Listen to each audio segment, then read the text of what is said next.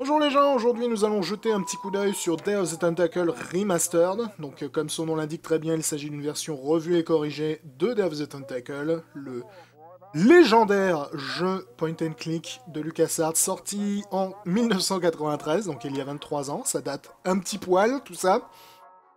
Comme il s'agit d'une version remaster, je vais pas vraiment perdre beaucoup de temps à juger le jeu lui-même. Euh, Day of the Tentacle, c'est l'un des meilleurs point and click de l'histoire et un excellent jeu. Donc si vous l'avez jamais fait et que vous aimez ce genre, il n'y a vraiment pas de raison de se priver. Je vais principalement donc euh, m'intéresser à ce que cette version remaster apporte, euh, qu'est-ce qui a été remis au goût du jour, qu'est-ce qui a été ajouté comme bonus, et ainsi de suite. Euh, pour ce faire, on va créer une nouvelle partie, parce que j'ai fini le jeu sur la partie précédente. Ça va relativement vite les point and click quand tu connais les énigmes par cœur, donc j'ai déjà fini le jeu. je vais lancer une nouvelle partie. Oui, tu peux tout à fait virer ma sauvegarde, je m'en fous un peu. On va pas activer le commentaire des développeurs au départ, mais je le réactiverai derrière pour vous montrer un peu ce que ça donne. Donc Day of the Tentacle, comme je le disais, un grand classique du point and click, un grand classique du point and click absurde également. Donc euh, si vous aimez pas les énigmes un peu débiles, sachez qu'il y en a beaucoup dans ce jeu. Et un grand classique qui, comme vous pouvez le voir immédiatement, a été intégralement redessiné, ce qui est vraiment une excellente nouvelle en fait.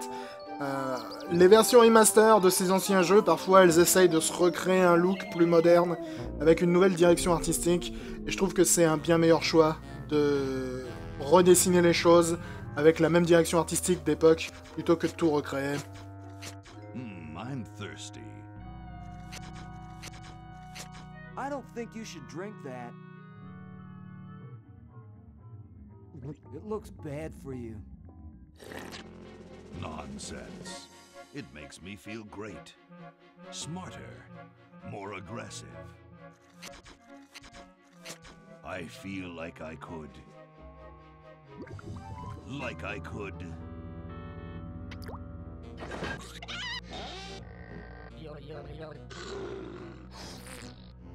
Like I could.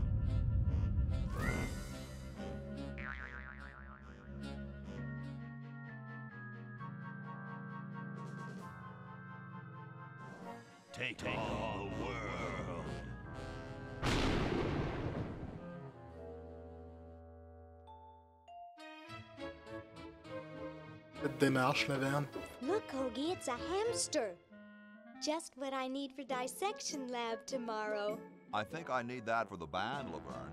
You know, like we could bite its head off or whatever. Hands off that hamster. Friend of yours, Bernard? He belongs to Weird Ed Edison, and it looks like he's brought us a note. It's from my old friend, Green Tentacle. He says that Purple Tentacle's mutated into an insane genius, and Dr. Fred's going to kill them both.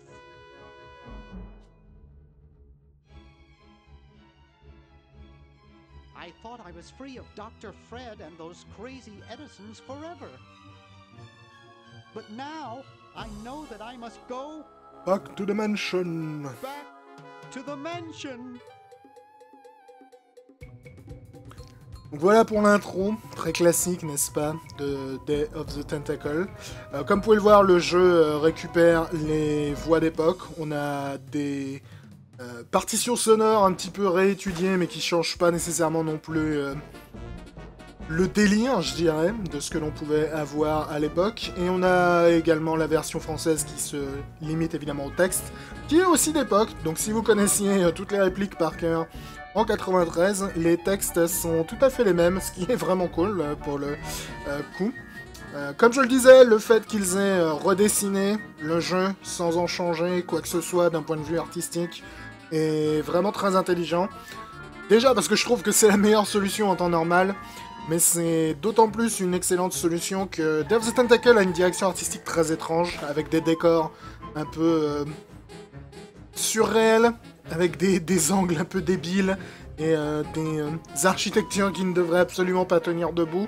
Et je pense que s'ils avaient essayé de partir dans la direction des versions réétudiées, par exemple, qu'on a eu de Monkey Island 1 et 2, ça se serait beaucoup moins bien passé. Donc je pense que c'était vraiment le meilleur choix de simplement tout redessiner en version haute, définition, euh, plutôt que d'essayer de réinventer la roue de ce côté-là, euh, pour redonner euh, le même look que le jeu de base avait, mais euh, avec quelque chose qui est un petit peu plus adapté à nos écrans gigantesques. Alors on peut euh, passer de manière tout à fait fluide entre le look d'époque et le look d'aujourd'hui. Je vais vous montrer d'ailleurs comment on peut le faire et ce que cela change sur le gameplay, car ce n'est pas uniquement un changement visuel, cette version remaster. On attendre que Okay, Bernard distribue we'll les ordres. Spread out commando style. Laverne, you go secure the area behind those double doors. Hoagie, you take care of upstairs reconnaissance. I'll maintain Command HQ here in the lobby. What are we looking for? We've got to find where Dr. Fred is holding the tentacles. This better not take too long. I've got an anatomy final tomorrow. And I've got a show to set up later tonight. If I'm late, I don't get to test the drums. If I know Dr. Fred, he's got the tentacles tied up in his secret lab. The question is, where's his secret lab? Ok, donc là on récupère enfin la main pour commencer à jouer au jeu. Euh, La première chose que vous me remarquerez si jamais vous avez joué à la version originale, c'est que l'interface a complètement disparu. Il n'y a pas les verbes et il n'y a pas l'inventaire. Pour ouvrir l'inventaire, il suffit d'appuyer sur ce bouton qui est là ou de cliquer sur le bouton central de votre souris de manière à ce qu'il débarque ou s'en aille. Et euh, pour interagir avec les éléments que l'on trouve dans le décor, plutôt que d'utiliser le système de verbes qui existait à l'époque, qui était très à la mode dans tous les point and click de l'âge d'or, on a désormais un système qui fonctionne avec le bouton droit de la souris. Donc lorsque tu arrives euh, sur un objet, comme par exemple la plante, tu maintiens le bouton droit et le jeu te propose les options les plus logiques. Logique, je sais pas si c'est vraiment le bon terme vu le jeu auquel je suis en train de jouer, mais peu importe. Les options, disons, les, plus valables avec l'objet en question. Donc là, par exemple, sur la plante, j'ai l'option de la pousser, de la tirer, de la regarder ou de la prendre.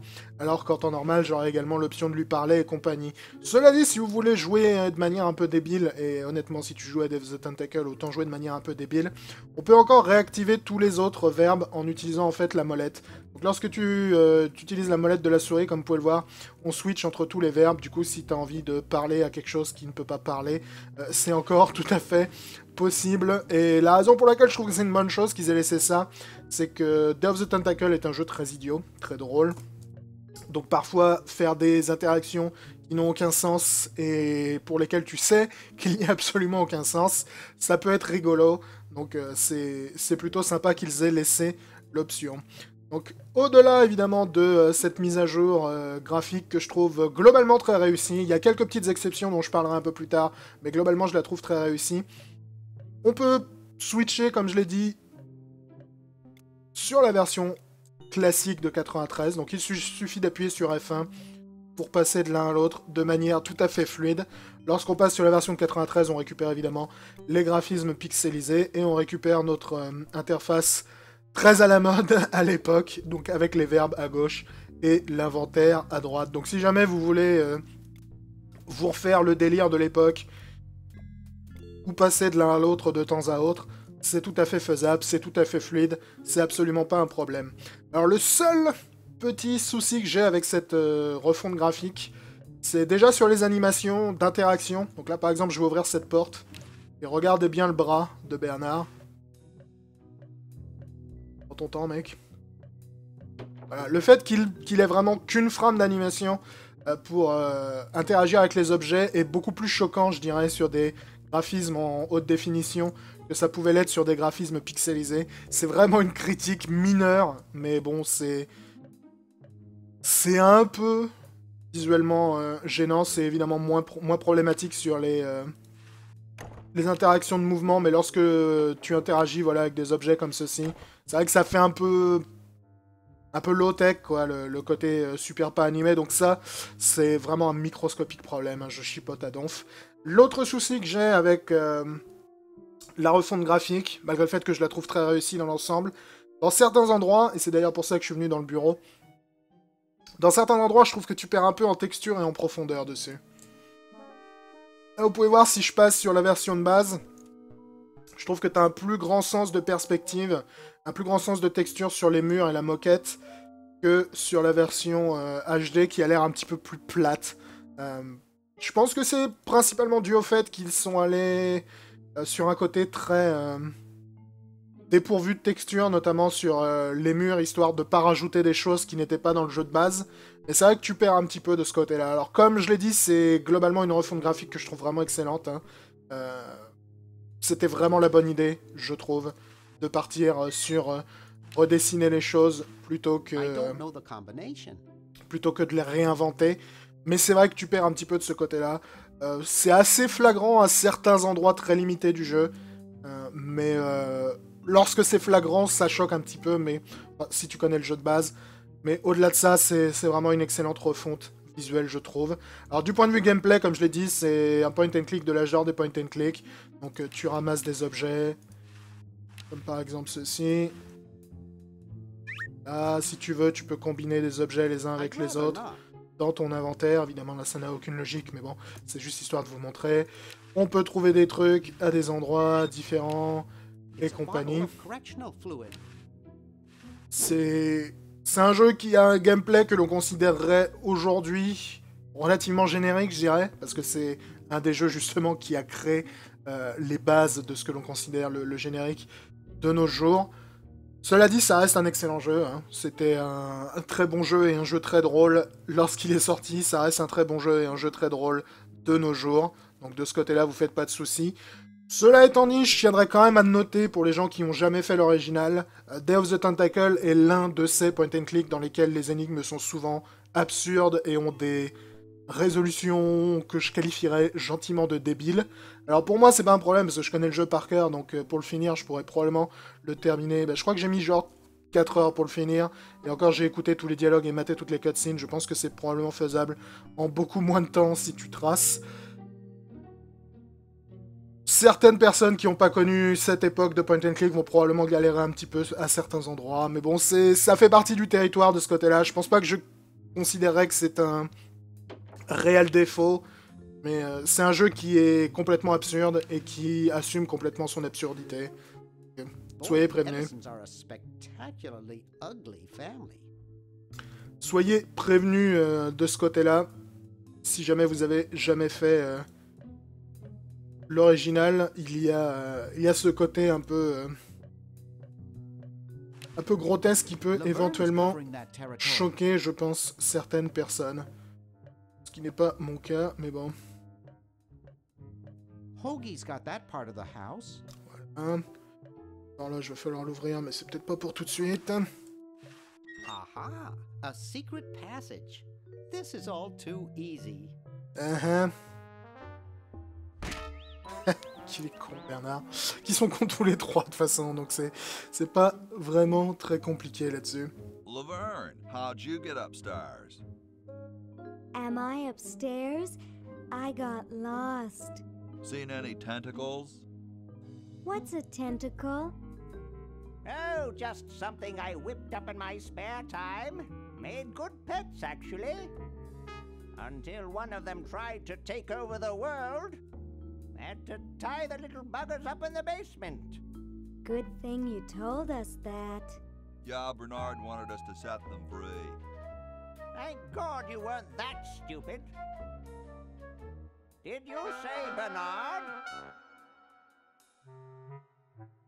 Okay, you're free to go. Thanks, Bernard. Yes, thank you, naive human. Now I can finish taking over the world. Wait! Oh, yeah. Now I remember. He's incredibly evil, isn't he? Uh, I'll try to talk him out of it. Well, what possible harm could one insane mutant tentacle do?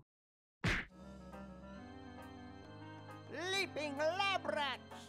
Dr. Fred. What have you done this time, you meddling milk toast? Now Purple Tentacle is free to use his evil mutant powers to take over the world and enslave all humanity. Whoops. Our only hope now is to turn off my sludge-o-matic machine and prevent the toxic mutagen from entering the river. Isn't it a little late for that, Doctor? Of course, that's why I'll have to do it. Yesterday, through the time machine. This is all your fault, Bernard. Behold, children, the Chronogon. Doc, can't you just send Bernard? No, you must all go to increase the odds that one of you will make it there alive. Have any people ever been hurt in this thing? Of course not. This is the first time I've ever tried it on people.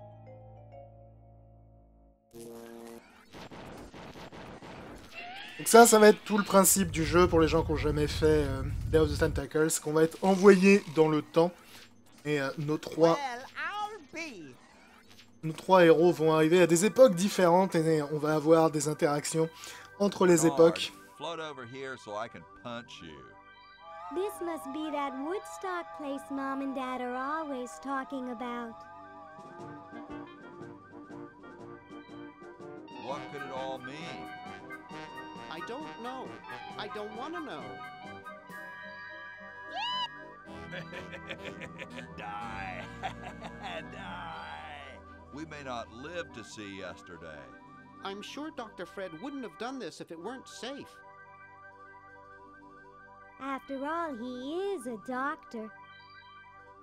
It works! I can't believe it! And they said imitation diamond wasn't good enough.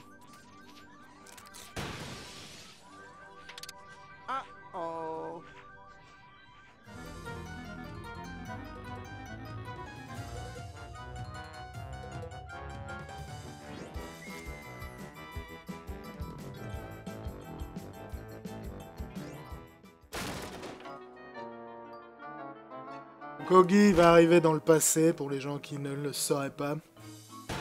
Laverne va arriver dans un arbre dans le futur.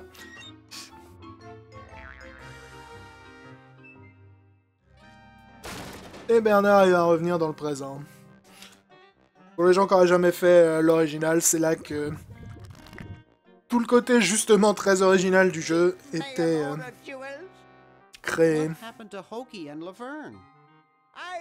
I should have bought a real diamond. Are they alive? My dials say that the larger specimen landed 200 years in the past, and the other is stuck 200 years in the future. Well, hurry up and bring them back. I will, as soon as I get a new diamond. Then all your buddies have to do is plug in their respective chronogons and. Plug them in? Where is Hoagie going to find an electrical outlet 200 years in the past? Yes, well, he'll be needing my patented super battery then, won't he? Now, where did I put those patented super battery plans of mine? Plans? How are we gonna get Hoagie plans? Don't worry me with details, boy. Just help me find the plans. They're in this house somewhere. Now what am I going to do? I think I made myself perfectly clear. Step one, find plans. Step two, save world. Step three, get out of my house. Let's get cracking.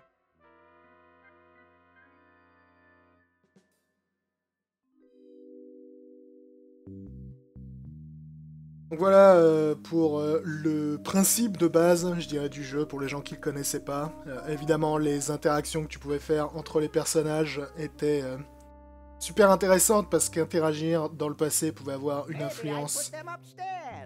Donc- le présent ou le futur. Par exemple, l'arbre sur lequel Laverne est très élégamment attaché.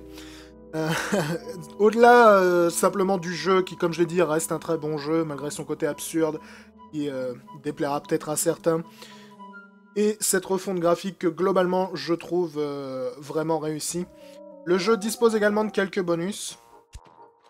Donc on peut avoir un commentaire de développeur qu'on peut activer et désactiver quand on veut. Alors le commentaire est automatique dans les cutscenes en fait. Et lorsque tu rencontres un endroit dans le jeu euh, où il y a un commentaire, tu peux le lancer là. Et l'arrêter en appuyant sur A. Voilà, c'est pratique pour euh, les gens qui, peut-être comme moi, connaissent le jeu par cœur et veulent simplement euh, découvrir peut-être des détails de la part des développeurs euh, sur certains endroits. Donc lorsque tu arrives dans une pièce où il y a un commentaire, le jeu te met au courant, tu l'actives avec A ou tu le désactives avec A, et tu peux écouter ce que les développeurs ont éventuellement à dire sur le jeu, ce qui est relativement cool.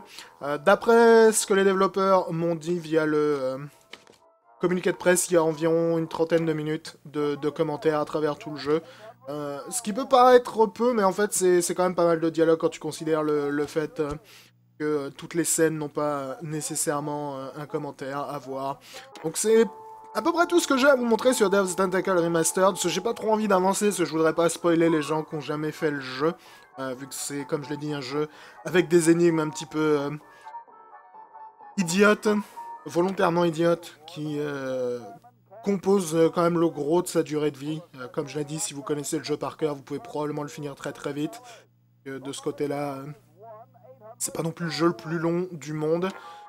Mais globalement, je trouve que c'est un excellent remaster et je suis assez satisfait et surpris parce qu'honnêtement, le remaster précédent, qui était celui de Grim Fandango, je l'avais pas trouvé excellent, malgré le fait que j'adore Grim Fandango. Euh, qui est un, très très bon jeu. J'avais trouvé le remaster assez médiocre, et euh, je trouve que ce n'est pas le cas du tout euh, pour celui de Death of the Tentacle. Le boulot est bien fait cette fois-ci. La refonte graphique est très bonne. L'interface fonctionne. Je la trouve un peu laide, je vais, je vais dire, l'interface. Le, le, le, côté bleu là des, des trucs qui apparaissent, je trouve ça un peu moche. Honnêtement, c'est une critique assez mineure. Ça fonctionne, c'est le principal. Les commentaires des développeurs sont là pour les gens qui sont intéressés par ça. On peut également euh, débloquer pardon, des artworks, comme on pouvait le faire dans Grim Fandango Remaster, ce qui est également cool pour les grands fans euh, du jeu. Donc, euh, ouais, honnêtement, je, le recommande chaudement aux... aux vieux comme aux nouveaux joueurs, je dirais. Si vous étiez un grand fan du jeu, lorsqu'il est sorti en, en 93, c'est une occasion de le redécouvrir sous un nouveau point de vue ou de le refaire comme il était à l'époque, en chopant au passage des artworks et les commentaires euh, des, euh, des développeurs. Euh, si vous l'avez jamais fait, ça reste un excellent jeu, malgré, comme je l'ai dit, le fait qu'il est vraiment très absurde, qui peut être peut-être un barrage à certains des joueurs les moins accrochés de ce côté-là. donc, je trouve que c'est un, excellent achat pour tous les fans de Point and Click. cette version remaster The Day of the Tentacle, je suis vraiment tout à fait euh, satisfait par le boulot qu'ils ont fait là-dessus. Euh, Double Fine, ce qui est plutôt surprenant vu que dernièrement je suis pas vraiment leur plus grand fan. Donc euh, c'est une bonne chose de voir qu'ils ne se sont pas foirés là-dessus. Alors pour les gens qui ne le sauraient pas, il y a également Maniac Mansion dans Day of the Tentacle. En fait, il y a un endroit dans le jeu où tu peux jouer au premier épisode de la série sur un ordinateur. Euh, sachez que Maniac Mansion, lui, a pas été refondu, donc c'est vraiment la version originale laquelle tu joues. C'est pas vraiment une grosse critique euh, de dire que Enfin, il y, a certains joueurs qui pensent que Maniac Mansion dans le jeu aurait également dû être refondu. Je pense qu'il faut pas exagérer non plus, les gens, quand même. Il hein. y, a, marqué Day of the Tentacle Remastered dessus. T'as un jeu gratos qui est caché à l'intérieur. Donc, euh, on va peut-être pas pinailler au-delà de toute euh, raison. Donc voilà, c'était mon avis sur euh, Day of the Tentacle Remastered. un très bon remaster, je trouve. Les, critiques que j'ai à faire dessus sont vraiment très limitées. Visiblement, il y a quelques petits problèmes techniques de son chez certains joueurs, euh, mais apparemment Double Fine est déjà au courant, donc j'ose espérer que ça va être euh, mis à jour relativement vite. Mais euh, restez quand même prudent là-dessus, parce qu'apparemment il y a pas mal de joueurs qui ont du son qui crachote et qui disparaît de temps à autre, ce qui peut être désagréable.